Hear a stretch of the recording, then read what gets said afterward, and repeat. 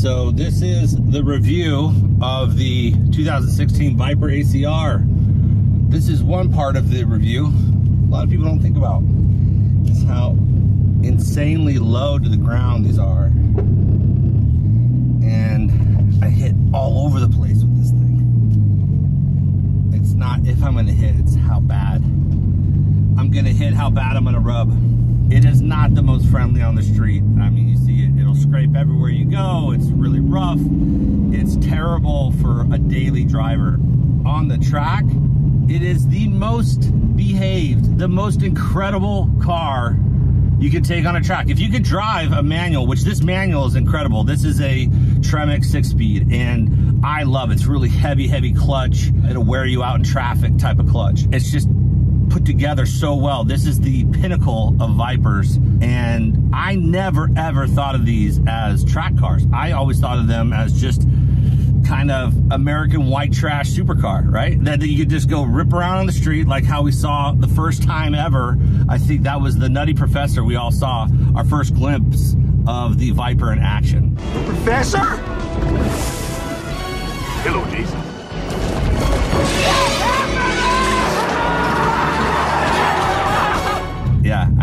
Make fun of Robert a lot too. and, uh, you know, him getting in this thing. Get in there. Get all the way in. There. This sucks, dude. Perfect. You look really good in there, though. it's not easy. It's You got to basically shoehorn into this thing. It's very, very tight. Uh, Garrett uh, Cleetus, he's actually driven this. Uh, you should ask him about it. It is not an off-road vehicle, even though he treated it like one. But he fit in it well enough. And uh, I would say had one of the worst videos ever. He just filmed point of view on the track. And, you know, he was younger. He was experimenting with videos. We had a really cool one that we shot together prior to that. And this was the one we took to the track. You know, as a YouTuber, I never really realized, like, you struggle with, like, music and uh, what you can and can't use and how quickly you need to put things together. So like I droned all day long and had this incredible drone footage and he just couldn't use it because it would take time to montage that, lay music over it. Uh, you know, the audio is obviously silent on a drone. So it was just what he had for the day and was just to drive down with him and his girlfriend at the time and us friends and brother and everybody just cruising down a couple hours to this track. Well, uh, you know, it's just one of those videos. It's just, it's, tough to watch and uh, it didn't do very well. And uh, that was like the first introduction in like the struggles of like what Garrett goes through, you know, to put out good content. It's not as simple as you guys think. He is a master now. I mean, his whole day can be immediately planned out for a YouTube video and it just comes to him and he knows exactly how to put it together. I, on the other hand, struggle with it immensely. I love doing the longer videos uh, that are basically put together well and high quality type of stuff. This uh, daily vlog stuff is uh, is quite a bit harder for me to, you know, wrap my head around all the time and make sure it's put together well so that my editor doesn't have to constantly piece things together and cut it all up. And he can use these big long shots like this and eat up a lot of time. And it's just good information that people like to watch. You know, it's it's real, it's reality, and that's what we all crave and go after when we're watching these YouTube channels. It's why, in my opinion, YouTube has been an explosion. So back to the review of this car. It is really geared really tall. So the second gear, 40 miles an hour.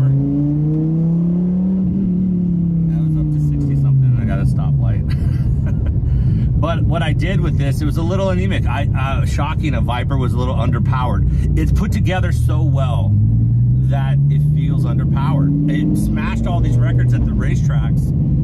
It had a cage in it. It had a driver that didn't own the car. He was a professional. And if you really want to send this uh, car, it will constantly be there for you. And the traction control is actually really good on this. I rarely take it off completely. One, I'm not a professional driver trying to set lap records that really matter. It's for my own personal PRs. And uh, it's it's like one of those things that, you know, I just don't push. So I leave the traction control on a little bit and it doesn't interfere at all. I mean, it slightly reduces power on exit and entries, stuff like that if I start to get a little loose, but it, it handles really well. Right now there's a woman in a old uh, Honda Civic she's got to be 70 years old, just loving this car. Everybody loves the Viper. You can take this anywhere, and uh, Americans love this car. It's really the only American supercar ever made. I mean, everything else is a sports car. Uh, you know, the mid-engine Corvette's fairly supercarish, but still a sports car to me.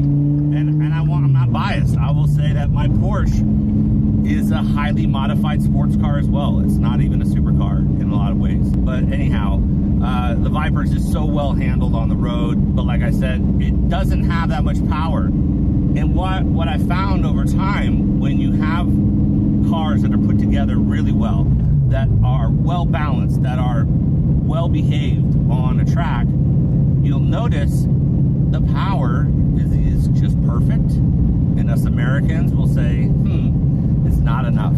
So you'll notice that when a car is put together well.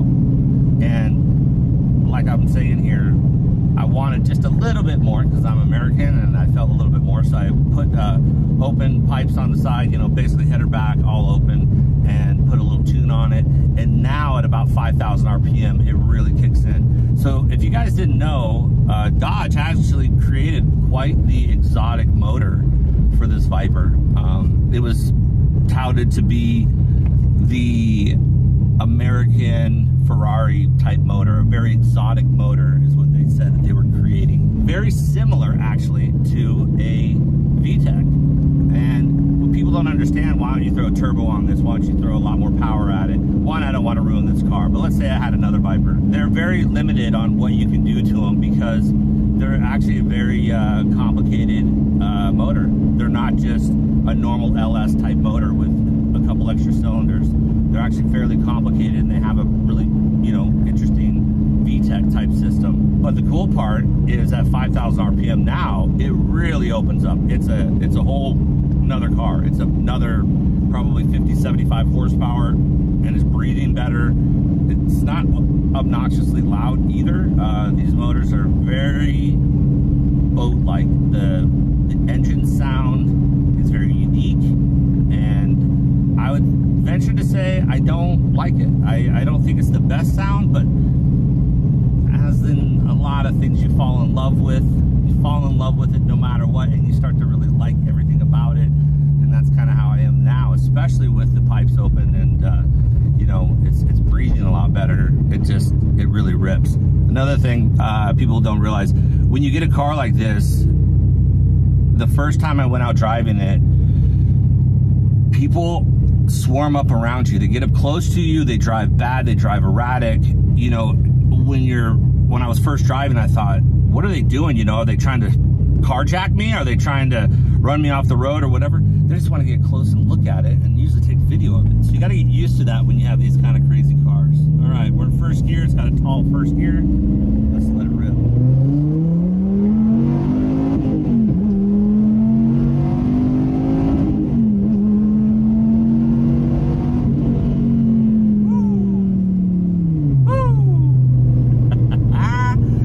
Man, this car reviews way better than when I did the Porsche. Maybe I should jump in the Porsche and give you guys a little rip in that too. Uh, out of both of the cars, like I'm saying, I don't like the sound as much as like the uh, Lamborghini, the Huracan I used to have. It was twin turbo, so it was even muffled by the turbos. It still sounded incredible. But this one has a sound to its own, its own self, and uh, it's something you will fall in love with if you ever have a chance to drive one or actually own one. All right, let's take a look at the outside of this bad girl, huh? Just so you know, I got this wrap uh, a while back for one of my race weeks, and uh, you know, I, I, do like it. I can't get the stickers off now; they're not the good stickers, so they are stuck there for good, basically, unless I really. I don't know. I don't think they're going to come off. But I uh, did this powder coat orange. I just thought that was cool. It popped. It was fun to do. We did the custom ACR in orange as well. Uh, you know, just to grab attention and have fun on those race weeks. This is not a race week car by any means, but you know me. I'll take what I got and uh, have a lot of fun with it. And it wasn't, you know, I don't need to wrench and stuff when I take these on race week. Let's take a look at the under the hood. Woo! There you go. Big boy V10 right here, guys. And uh, when you know, I told you this is kind of the most optioned out. You get this carbon fiber X brace that you get, so it's pretty cool. And this is all carbon fiber in here. It's not like, you know, the, the type that you want to look at, but uh, all these other reinforced pieces here. But this is actually, you know, a pretty light hood. I'm assuming it's not very cheap if I ever wrecked and needed a new one. The other really cool thing is this massive wing on the back. It makes a ton of downforce. You can actually really feel it in this car. And these are so strong. I've actually had my daughter and her friends, I got some cool pictures of them sitting up on top of this. And I have no worry in the world, just didn't want them to stand on the glass and break through it. Besides that, this is the 2016 Viper ACR. She is one bad girl. All right, guys, like I promised you, I'm gonna take you out for a ride in the GT2RS real quick too. This is a 2018, and I actually ordered this one. I filled out all the forms and everything else and ordered this. It didn't take a tremendous amount of time, about a half a year back then, and I think I got it right at the end of 2018, 2019. It's, it's awesome. Like I said, it's got a few little touches on it that were specifically what I wanted. I didn't have a big color range uh, either to pick from. You couldn't order, uh, I can't remember what their specific name of it's called, but you know, the paint order program, you couldn't do that. So I just went with your basic white with black stripes and then a lot of red trim on the interior. These seats obviously are not the main seats, uh, like I talked about in uh, video part one. If you guys haven't seen that, you should check it out. I show a lot of other cars that I have.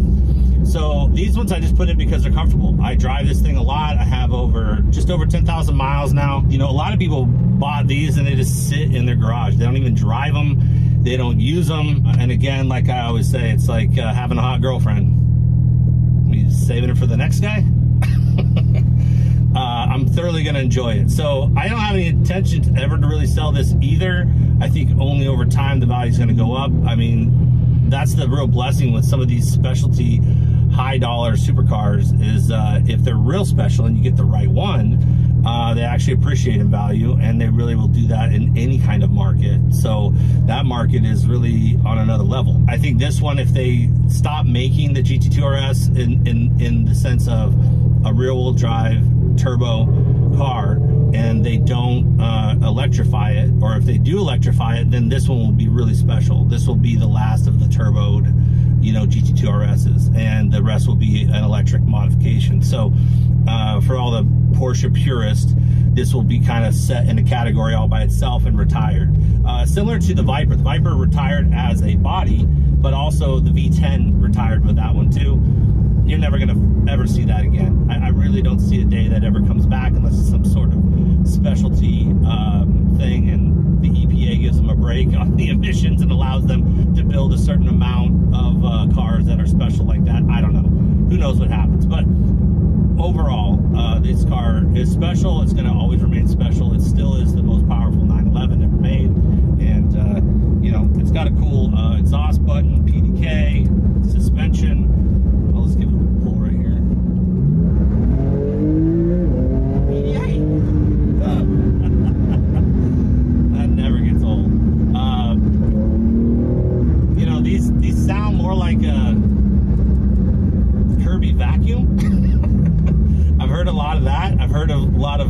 muffled sound. So I had a Turbo S before this. It was a 2014. I love that car. It had some nice HREs I put on it. It was a convertible though. I thought, you know, at the time, how cool is a, you know, coupe, but how much cooler is a convertible? I could cruise around and I could see chicks out on the street and I could talk to them and hop on in. I mean, that's how that's how naive and so how much different my mindset was back then. I was just becoming wealthy and all those things really mattered. You know, if you guys notice, I am not a, I mean, I do have a lot of nice things, but I'm not a blingy blingy person. I do have nice, like watches, for example, but I rarely wear them. Uh, that was all kind of a thing of the past. So, uh, I, I had a really cool uh, convertible. Hopefully I can find some pictures of that. But this one here is just a, a Purus 911 and it's really stripped down. You know, they say it's really lightweight. I think it still weighed over like 3,600 pounds with me in it and, uh, you know, full of, you know, some stuff and a few other things. So they're not like super lightweight uh, in, in that sense of the word. Uh, this car was really special to me. I actually got second place at uh, my first race week with Rocky Mountain Race Week. And I went out there to be uh, a, spectator, and they said, "Oh, we actually have some room if you want to jump in one of the brackets." So I said, "I don't know what this thing will run. If it'll run uh, 11s or run 10s or, or what." And they're like, "Well, you want to run an 11.0 or a 10.0." So it ran a, like a 10.3, I think, a 10.4. It was really really quick, uh, but it wasn't low enough. So I ran the 11 bracket and uh, learned a first time I ever bracket race and I'd have to, you know, basically get off the throttle at about a thousand foot and uh, coast through.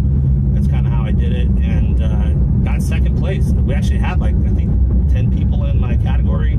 I think Cooper was in it. He had a uh, he was borrowing a Mustang uh, uh 500, the um, GT 500. It was brand new at the time, and you know all the other guys were out. Cleetus was out, and everybody else. So that was a lot of fun to actually get second place and uh, do it in, in the new modern car, which it kind of feels cheap after you do it. The guy that won actually had an Audi.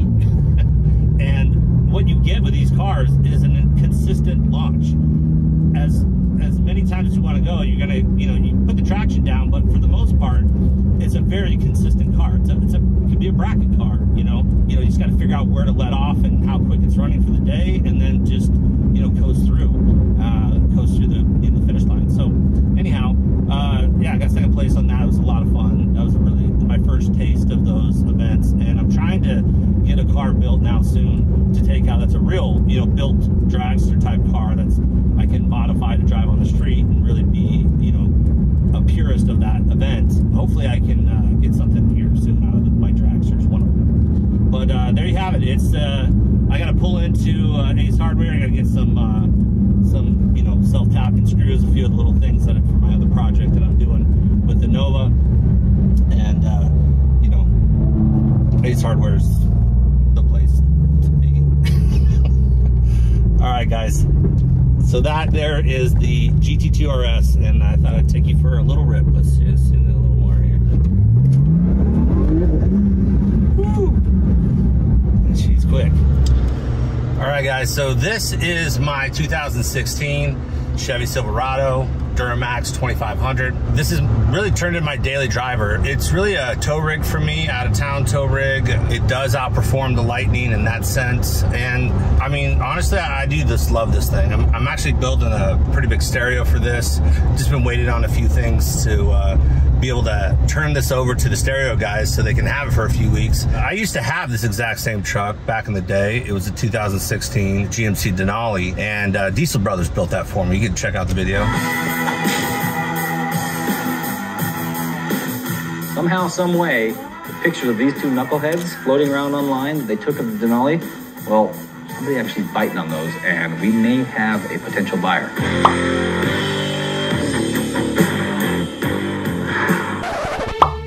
Just bought the most amazing truck.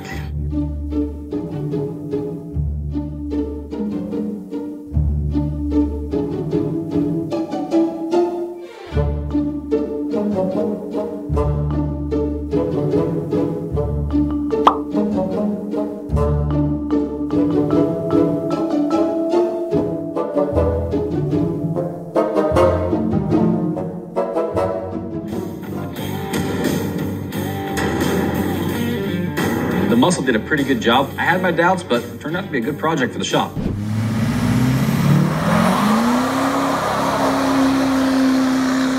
Well, that was a lot more powerful than this. It was actually deleted by them. Don't worry, guys, I'm not ratting them out. They had already got in trouble for it. But the Diesel brothers say their business was targeted. According to a lawsuit filed against the Diesel brothers, Sparks and his team stripped pieces like the DPF from their trucks, violating the Clean Air Act. I actually had to have a a lawyer, investigator, or somebody come over and they actually crawled underneath my truck and took pictures. I had to like allow them to do that. It was really, really odd that I was like kind of pulled into their big lawsuit that they were involved in.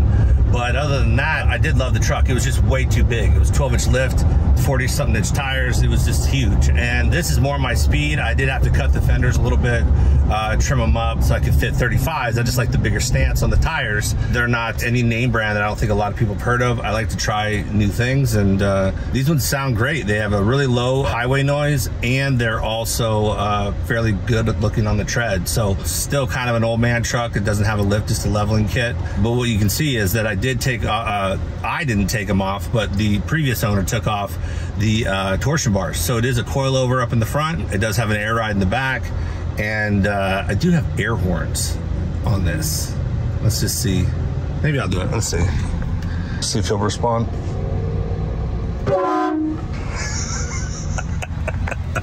yeah, that was on here prior. oh, that's a good one when you want to trick your family to walking around your truck. So, yep, now this is it. This is my daily driver until uh, the Audi gets fixed or I figure out what I'm going to do next. Um, I'm not a really big truck daily driver type of guy, but you know, this thing's awesome. Now I think we should take you over and take a look at the Audi that I was just talking about.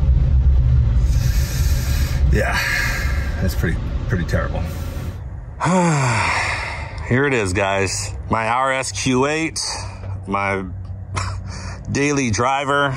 The terrible luck continues. I've had a few issues with this, just kind of going into limp mode and a whole bunch of other weird stuff ever since I've kind of owned it. Apparently, dealer is saying now the engine is blown. Yep, and they found a tune on the computer. Let me just say, I did not tune it. So I don't know what to do with these guys. I, I got a lawyer right now. We'll see if uh, they have anything to say about it, but uh, doesn't look very good, guys. Might be one of those things I gotta find a new engine and pay to put it in myself. Uh, it's not uh, not gonna be cheap at all. But just for kicks, let's just see if it will even start. All right. All right, you guys can hear it. It doesn't sound very good. I'm trying to hang this out there. I gotta leave my foot on the throttle.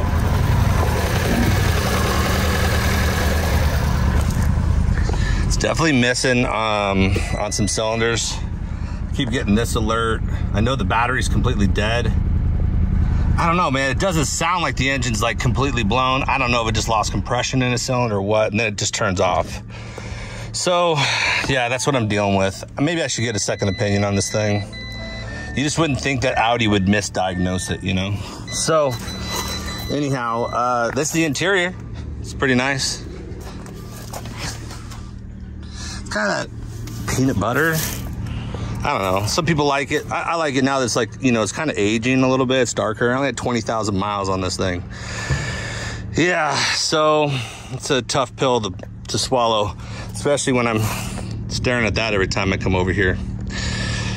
That one actually, uh, we're finally getting to some settlement with the uh, insurance company. They're talking about uh, super devaluating it because they said that it wasn't worth anything when I wrecked it. Uh, that it was already $100,000 lower due to me taking out the interior and whatnot. Uh, so, yeah, they're saying that was worth $100,000. Got quite a fight on my hands with that one. So, this girl is another one. And of course, I have the Ford Lightning as well. All right, guys, so that concludes my uh, walkthrough of all my vehicles. I drove a few of them for you. I have a lot more planned for this uh, this year coming up. I, am really, really excited. I, I just got to get through this weird car funk I've had. These three, you know, really expensive cars just uh, wrecking or uh, taking a crap on me. So I'll get through it. Uh, you guys will see me rise above all this and uh, get back to, you know, hitting on all eight cylinders, if you will. But again, please, uh, please subscribe. That, that means a lot to me. I'm trying to hit 100,000 followers. Don't even comment. Don't even like. I don't even care. Just make sure that if you guys watch it, just, just subscribe. I really appreciate it. And as always, that's just another day chilling with Chet. Uh, this is really high incline, so we have to get it right. Can't afford to screw it up. I'm just concerned about Just say fifteen thousand dollars.